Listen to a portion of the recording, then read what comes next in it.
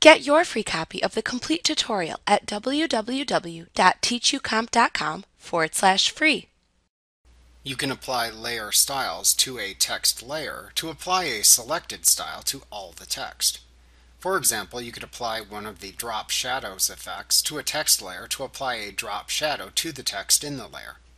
You can modify the styles you apply by using the Style Settings dialog box as usual. You can also clear all styles you apply if you no longer want them applied. To apply layer styles to a text layer, first select the text layer. Then select the type tool used to create the text within the toolbox and tool options bar. Then click the Style Picker button that appears in the Tool Options bar to show the Style Picker pop-up panel. Use the drop-down at the top of this panel to select the set of styles to show within the panel.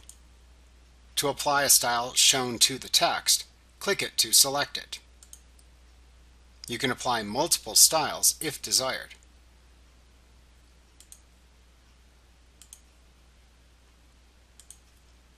Note that the FX icon appears at the right end of the text layer in the Layers panel to note that it now has layer styles applied to it.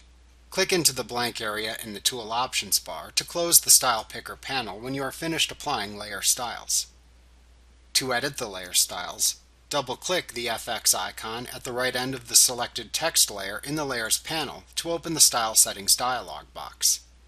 You can then use the checkboxes and sliders shown in each section of the dialog box to apply or remove each setting and specify its additional options.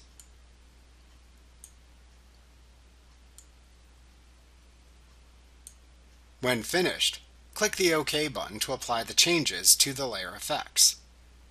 To clear all layer effects from a text layer, click the layer to clear in the Layers panel. Then right-click the FX icon at the right end of the layer and select the Clear Layer Style command in the pop-up menu. Like what you see? Pick up your free copy of the complete tutorial at www.teachucomp.com forward slash free.